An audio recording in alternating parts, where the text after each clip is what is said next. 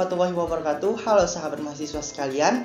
Nah pada video kali ini kami dari kelompok 4 Merupakan mahasiswa dan mahasiswi Fakultas Ekonomi dan Bisnis Universitas Muhammadiyah Sumatera Utara Akan menyampaikan kepada anda sekalian Mengenai pengertian serta cara menghitung PPH pasal 25 Nah pada video kali ini sebelum kita masuk pada pembahasan Ada baiknya dari kami memperkenalkan diri kepada teman-teman mahasiswa sekalian Nama saya Muhammad Arif Sirait, NPM 1905170034. Di sini saya sebagai moderator.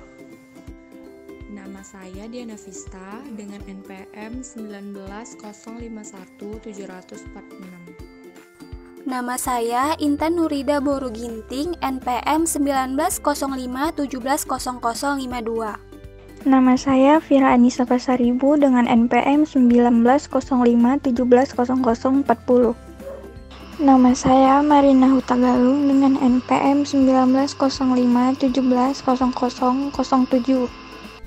Nama saya Herdini Azara dengan NPM 1905170018. Nama Sylvia Monica, NPM 1905170026. Kalian, kalian sudah lihat kan siapa yang akan menyampaikan materi pada video kali ini? Maka dari itu, ayo teman-teman sekalian, saksikan video ini, pahami supaya kalian dapat mengerti apa itu PPH pasal 25 serta kalian dapat melakukan perhitungan terhadap PPH pasal 25. Yuk ikuti video berikut ini. Nah, di sini saya akan menjelaskan pengertian dari PPH pasal 25. Jadi apa sih PPH pasal 25 ini?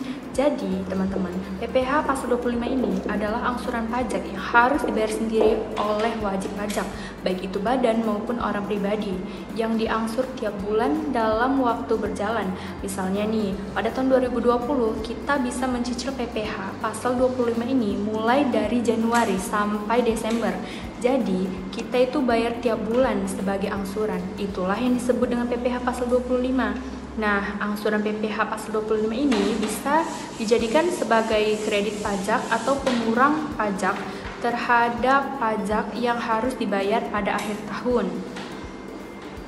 Um, bahwa PPH 25 ini diasumsikan penghasilan tahun lalu sama dengan tahun semalam yang artinya kejadian tahun lalu diibaratkan kejadian tahun ini dan kejadian tahun ini sama dengan kejadian tahun depan. Nah, makanya di sini diberikan namanya angsuran pajak untuk meringankan kita. Angsur dulu, bayar dulu, nanti dilaporkan SPT tahunannya. Yang kita bayar ini menjadi pengurang kredit pajak. Nah, PPh 25 ini bisa menjadi kredit pajak. Assalamualaikum warahmatullahi wabarakatuh. Nama saya saya akan menjelaskan cara PPh pasal 25. Jadi besarnya angsuran PPh pasal 25 ini dalam tahun berjalan itu berdasarkan pajak penghasilan terutama sesuai dengan. SPT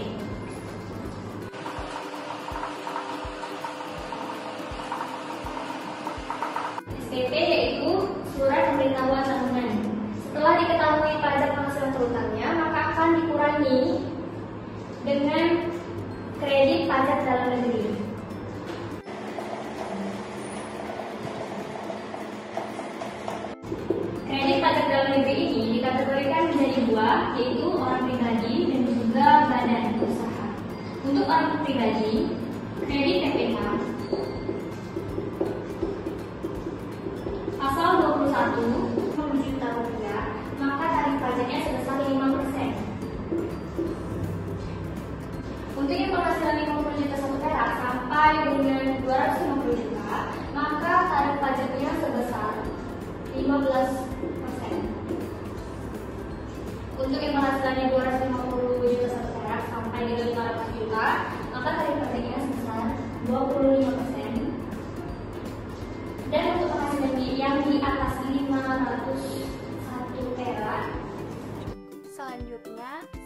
akan menjelaskan tentang perhitungan PPH pasal 25 dalam beberapa kasus.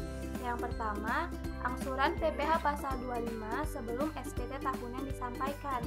Batas akhir penyampaian surat pemberitahuan tahunan pajak untuk wajib pajak orang pribadi adalah akhir bulan ketiga. Sedangkan untuk wajib pajak badan adalah akhir bulan keempat.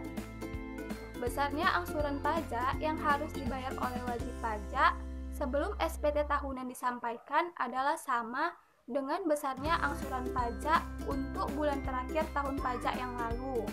Contoh, surat pemberitahuan tahunan pajak baru disampaikan di bulan Maret, maka untuk bulan Januari dan Februari besarnya angsuran pajak sama dengan bulan yang lalu yaitu bulan Desember, misalnya 1 juta. Yang kedua, angsuran PPh pasal 25 dalam hal terbit SKP. Apabila dalam tahun berjalannya pajak diterbitkan surat ketetapan pajak untuk tahun pajak yang lalu, maka besarnya angsuran pajak dihitung kembali berdasarkan surat ketetapan tersebut dan mulai berlaku di bulan berikutnya. Contoh, berdasarkan SPT tahunan yang dikeluarkan oleh wajib pajak pada bulan Maret, angsuran yang harus dibayar sebesar Rp1.250.000 pada bulan Juni, SKP baru diterbitkan dan menghasilkan besarnya angsuran yang harus dibayar oleh wajib pajak setiap bulannya adalah 2 juta. Maka yang sebesar 2 juta ini mulai berlaku di bulan berikutnya yaitu bulan Juli. Yang ketiga, angsuran pajak penghasilan pasal 25 jika terdapat kompensasi kerugian. Besarnya pajak penghasilan pasal 25 dalam hal wajib pajak berhak atas kompensasi kerugian adalah sebesar penghasilan pajak tahun yang lalu atau dasar perhitungan lainnya setelah dikurangi dengan kompensasi kerugian, lalu dikurangi dengan penghasilan pajak yang dipungut ataupun yang dipotong serta penghasilan pajak yang di yang dibayarkan ataupun yang terutang di luar negeri yang boleh dikreditkan sesuai dengan ketentuan pasal 21, pasal 22, 23, dan 24 Undang-Undang PPH. Ikut saya akan menjelaskan contoh bagaimana cara menghitung PPH pasal 25 jika terdapat kompensasi kerugian. Soal berikut di mana penghasilan PT Dira tahun 2009 adalah sebesar 250 juta. Sisa kerugian yang belum dikompensasikan sebesar 50 juta. Pada tahun 2009, PPH yang dipotong ataupun yang dipungut pihak lain sebesar 8 juta dan tidak ada pajak yang dibayar ataupun yang terutang di luar negeri. Pertanyaannya, hitunglah PPH pasal 25. Pertama-tama kita bagaimana cara menghitung pasal 25 adalah dengan mengurangkan pajak penghasilan tahun yang lalu yaitu sebesar 250 juta dikurang dengan kompensasi kerugiannya sebesar 50 juta. Dapatlah hasilnya sebesar 200 juta. Lalu kita hitung PPH terutangnya yaitu PPH terutangnya yaitu dengan 25% dikali 200 juta yang tadi 200 juta dapatlah hasilnya sebesar 50 juta lalu dikurangi dengan PPH yang terutang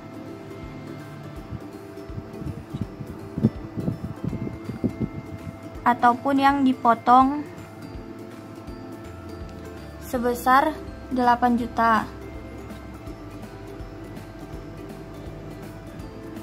Maka dapatlah besarnya angsuran pajak bulanan besarnya angsuran pajak dari PT Dira tahun 2010 adalah sebesar 42 juta. Dan besarnya angsuran pajak PT Dira per bulan adalah 42 juta dibagi 12 bulan sama dengan 3.500. Yang keempat, angsuran pajak penghasilan pasal 25 atas penghasilan tidak teratur. Sebelumnya, penghasilan teratur itu adalah penghasilan yang lazimnya diterima ataupun yang diperoleh secara berkala sekurang-kurangnya sekali dalam setiap tahun pajak yang bersumber dari kegiatan usaha, pekerjaan, harta ataupun modal, kecuali penghasilan yang telah dikenakan PPH yang bersifat final. Sedangkan penghasilan tidak teratur itu adalah penghasilan yang diterima pegawai tetap sekali dalam satu tahun ataupun periode lainnya. Besarnya pajak penghasilan pasal 25 dalam hal wajib pajak memperoleh penghasilan tidak teratur sebesar penghasilan pajak tahun yang lalu ataupun dasar perhitungan lainnya setelah dikurangi dengan penghasilan tidak teratur, lalu dikurang dengan penghasilan pajak yang dipotong ataupun yang dipungut serta penghasilan pajak yang dibayarkan ataupun yang terutang di luar negeri yang boleh dikreditkan sesuai dengan pasal 21, 22, 23, dan 24. Undang-Undang PPH. Berikut saya akan menjelaskan contoh soal bagaimana cara menghitung PPH pasal 25 atas penghasilan tidak teratur. Contohnya, penghasilan Tuan Abbas tahun 2009 adalah sebesar 300 juta, sedangkan penghasilan tidak teratur Tuan Abbas adalah sebesar 20 juta. Pada tahun 2009, PPH yang dipotong ataupun yang dipungut pihak lain sebesar 10 juta, dan pajak yang dibayarkan ataupun yang terutang di luar negeri sebesar 50 juta. Hitunglah PPH pasal 25-nya. Yang pertama, kita kurangkan pajak penghasilan tahun yang lalu dikurangkan dengan penghasilan tidak teratur yaitu sebesar 300 juta dikurang 20 juta. Dapatlah hasilnya sebesar 280 juta. Lalu kita hitung PPH terutangnya. Sebesar 25% dikali 280 juta. Dapatlah hasilnya sebesar 70 juta. Lalu dikurangkan dengan PPH yang dipotong. PPH yang dipotong ataupun yang dipungut.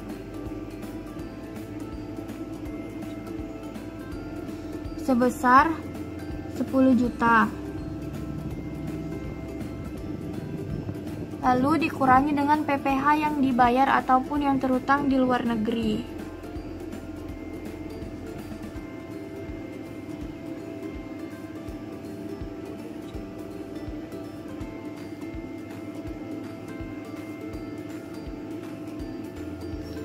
Sebesar 5 juta dapatlah hasilnya besarnya angsuran pajak per tahun PT Abas tahun 2010 adalah sebesar 55 juta.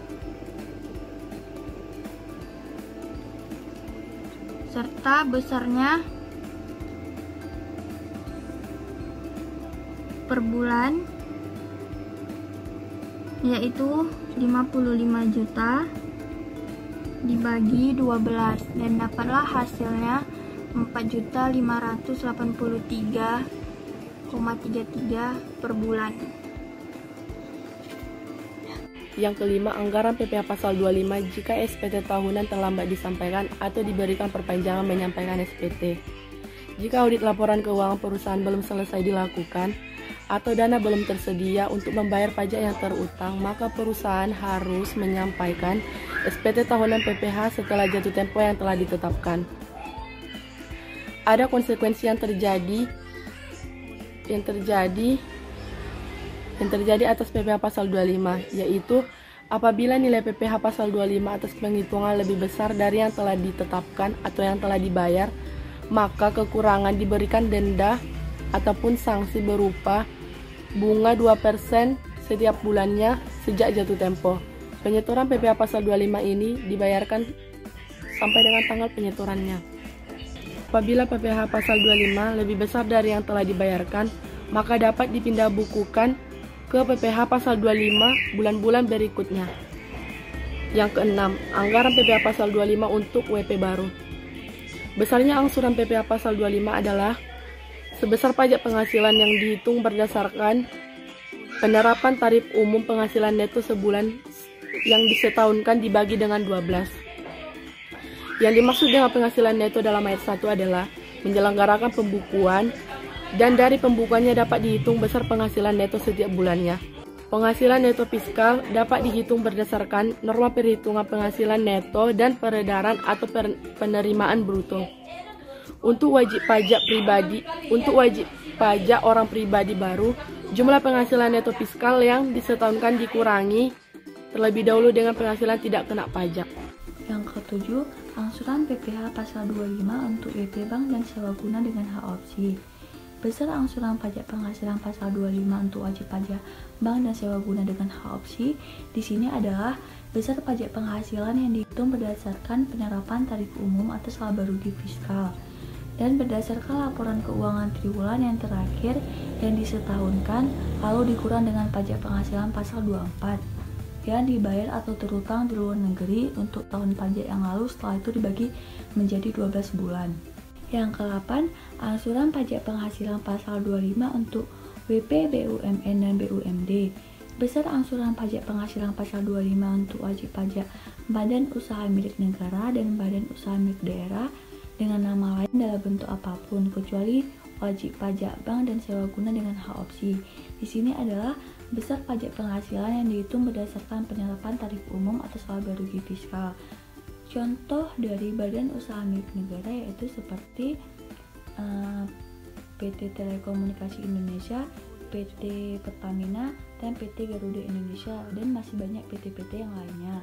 Sedangkan contoh dari badan usaha milik, milik daerah yaitu seperti Bank Pembangunan Daerah atau PPD, uh, eh, perusahaan daerah air minum atau PDAM, dan perusahaan daerah Angsuran PPh pasal 25 WP masuk bursa dan wajib pajak yang berdasarkan ketentuan yang diharuskan membuat laporan ke membuat laporan keuangan berskala. Angsuran PPh pasal 25 untuk WPOP tertentu besarnya angsuran pajak penghasilan pasal 25 untuk wajib pajak orang pribadi pengusaha pengusaha tertentu ditetapkan sebesar 0,7 ditetapkan sebesar 0,75% dari jumlah peredaran bruto setiap satu bulan setiap satu bulan dari masing-masing dari masing-masing tempat usaha. Sahabat mahasiswa sekalian, adapun kesimpulan dari uh, penyampaian video kita pada kali ini yaitu yang perlu kalian ketahui bahwasanya PPh pasal 25 itu membahas tentang pembayaran pajak uh, baik orang pribadi maupun badan pada tahun berjalan yang bisa dibayarkan secara angsur setiap bulannya. Dengan tujuan supaya orang yang uh, wajib pajak tadi baik orang pribadi maupun badan tadi tidak merasa terbebani akan nominal pajak di akhir tahun yang akan mereka bayar. Sehingga pihak negara kita negara Republik Indonesia menyatakan bahwasanya di dalam undang-undang nomor 36 tahun 2008 menjelaskan tentang bahwasanya boleh mencicil atau mengangsur pajak dengan cara membayarnya setiap bulan seperti itu.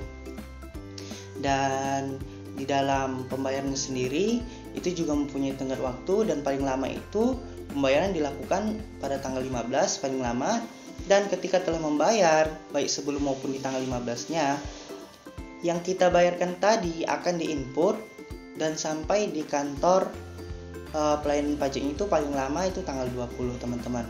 Jadi nggak usah khawatir misalnya teman-teman membayar pajak ini tanggal 15 tiba-tiba di tanggal 16 teman-teman cek loh kok belum bayar itu.